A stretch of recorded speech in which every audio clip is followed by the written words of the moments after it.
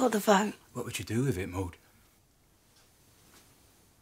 Do the same you do with yours, Sonny. Exercise my rights. Exercise your rights. You're a suffragette now. One of those panks. No. Mrs. Miller is. You know how they like to talk? You spend your time with her, that's what they'll call you.